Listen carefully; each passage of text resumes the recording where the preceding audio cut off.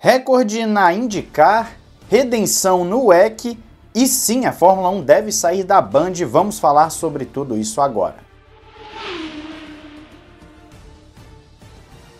Camisetas excepcionais você encontra na Paddock BR, 100% algodão, não encolhe, cupom Ressaca F1 e Ressaca Motor para desconto e frete grátis. Tem polo, tem moletom, não perca essa oportunidade, o link está na descrição. Tem jogos e gift cards na Instant Gaming, os melhores games pelos melhores preços você encontra lá, tem os grandes lançamentos também, link na descrição. Olá amigo do Ressaca Motor, seja bem-vindo a mais um vídeo, eu sou Matheus Pucci ontem tivemos um vídeo muito legal falando sobre André Aquim Antonelli com o Fernando do canal F, dá uma olhada se você não assistiu, e temos também agora um canal de cortes dos podcasts eu vou deixar o link aí na descrição também para você que não consegue acompanhar todos os podcasts. Tivemos já com o Ricardo Molina, com o Thiago do Fórmula Brum, Sérgio Milani, tivemos com Kevin Nicolas do Primeira Fila, agora esse também com o Fernando do F. Então dá uma olhada porque tá muito legal. Nós vamos postar com frequência lá os cortes, estamos já postando cortes, então não perca. Vamos começar com a indicar. Pois bem, nós tivemos recorde, nós tivemos marca histórica na Indy no último final de semana isso porque o lendário Scott Dixon conseguiu entrar para a história nas duas provas do final de semana. Na primeira, ele completou 400 provas pela IndyCar, o que é um feito absurdo, e na segunda prova chegou ao seu pódio de número 142, o que coloca ele junto de Mario Andretti e AJ Foyt como os maiores em pódios na história da IndyCar. São números muito expressivos do Scott Dixon, que é uma lenda da IndyCar. Às vezes dá até uma raivinha, né? Você vai assistir a IndyCar, você já sabe que ele vai estar entre os topos ali. Ele larga lá atrás, ele vai escalando, escalando. Às vezes dá uma raiva. Eu não sou uma pessoa que acompanha todas as corridas da Indy, mas quando assisto, geralmente ele dá trabalho. E reforça aquilo que eu tenho falado aqui no canal há algum tempo e que até estava conversando com meu irmão mais novo esses dias.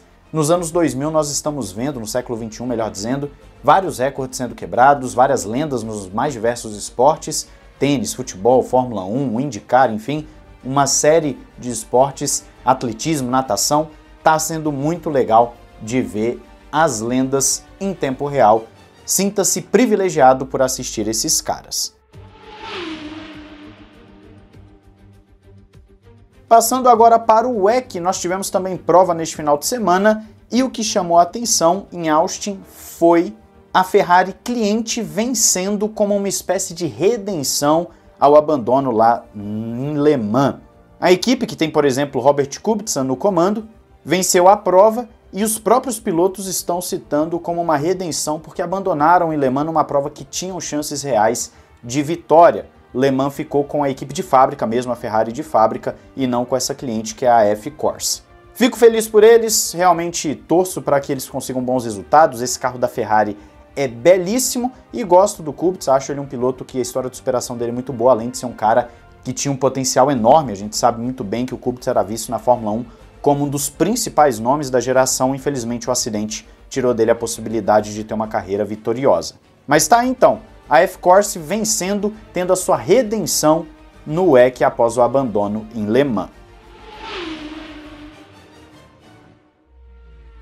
Falando ainda de Ferrari, mas agora chegando na Fórmula 1, Frederico Vassor falou que as voltas após o pit stop foram cruciais para a equipe, falando inclusive que trataram melhor os pneus do que a McLaren, o que é obviamente um excelente sinal dos upgrades que foram colocados em Monza. Mais testes são necessários, as duas próximas provas serão fundamentais para compreender o pacote da Ferrari ainda mais que é um pacote que mexe muito com o downforce do carro, então realmente Monza não é a melhor pista para você ter esse tipo de dado.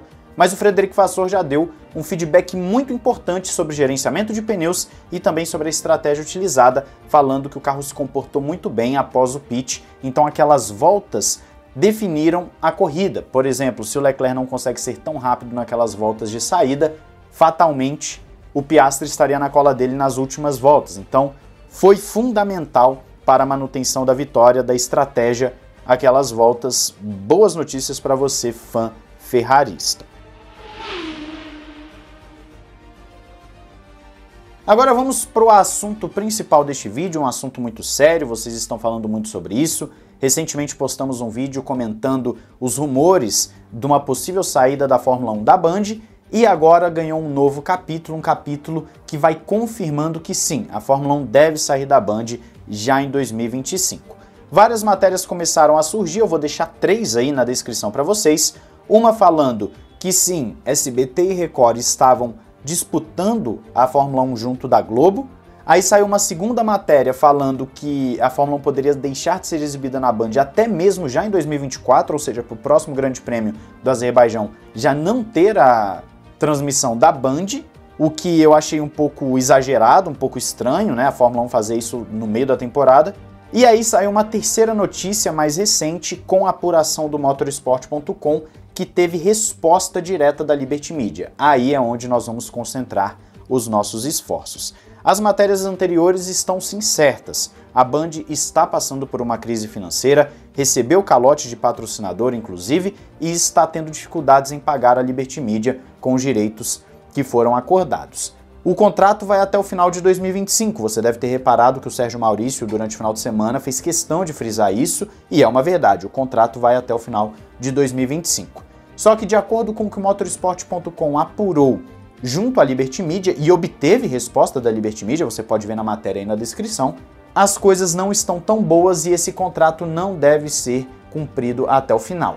A própria Liberty Media, em resposta, disse que a Fórmula 1 permanecerá na Band até o final de 2024, então eles não vão tirar a transmissão da Band até o final de 2024, porém, para 2025 as conversas já estão abertas. Então a Liberty Media confirmou que a Band está tendo dificuldades de pagar e eles já estão considerando outras opções. Isso está confirmado pela Liberty Media. Então é um fato, a gente sai do rumor e entra no fato. Eu tenho essa responsabilidade com vocês de sempre deixar as fontes e sempre falar para vocês o que é rumor, o que é opinião e o que é fato. Nesse caso, é um fato, a Liberty Media confirma a informação. Aí nós temos então o problema de qual emissora conseguiria esses direitos. SBT, Record, Globo. Existe uma resistência grande do público atualmente com a Globo, porque no final ali do, da transmissão da Globo, nos últimos anos, ela não estava tratando o produto Fórmula 1 de uma forma que agrada o público. Não passava pódio, a transmissão começava com a corrida já ali em cima da hora, na volta de apresentação. Você não tinha muitas matérias ao longo da, da grade de programação sobre o assunto. Era difícil de você acompanhar necessariamente todas as categorias de base, apesar de que, se não me engano, o Sport TV transmitia. Então existia uma dificuldade e uma má vontade da Globo com o produto Fórmula 1. Os fãs estão com medo disso se repetir. Eu entendo o lado dos fãs e tem também o agravante de que a Globo pode tentar negociar, quem sabe, uma saída do F1 TV no Brasil, o que eu vejo como sendo uma perda enorme. Mas também não é nada garantido, isso aqui é a minha opinião. SBT e Record também estariam no par, o SBT teria se manifestado já em favor de adquirir esses direitos, o que pode ser uma opção legal. Por quê? O SBT tem um sistema de streaming gratuito muito bom, que é o SBT Plus ou mais SBT, alguma coisa assim, e pode ser que dê um ar um pouco mais digno para a Fórmula 1 do que a Globo. Isso nós estamos assumindo que a Globo vai tratar a Fórmula 1 da forma que tratava antes, pode ser que ela trate muito melhor. Mas o SBT seria uma opção hoje que eu acho que está agradando um pouco mais o público, já que vai sair da Band. O público no geral tem gostado da Band porque tem passado tudo. Você coloca no Band Sport, você vê F2, F3, você vê uma porrada também de outras categorias de automobilismo que eles estão transmitindo. Você tem um apoio muito grande da Band com o automobilismo. E agora, com a possível saída da Fórmula 1, devido à crise financeira, os fãs estão preocupados do produto não ser tratado tão bem assim no Brasil, ou até mesmo de parar de passar na rede aberta, coisa que, se for para a Globo, de acordo com os rumores, vai ser só no Sport TV, com exceção de uma prova ou outra. Ou seja, vai ser que nem nos outros países, né? O Brasil é um dos pouquíssimos que transmite em rede aberta, os outros países transmitem em rede fechada e uma outra prova específica transmite em rede aberta. Então está confirmado. Há um problema, a Liberty Media já está negociando para 2025, vamos ver o que acontece. Quero saber a sua opinião de qual emissora seria a mais interessante. Diz aí nos comentários, não esqueça de se inscrever e ativar o sininho para não perder nada aqui no Ressaca Motor. Um grande abraço, valeu e falou!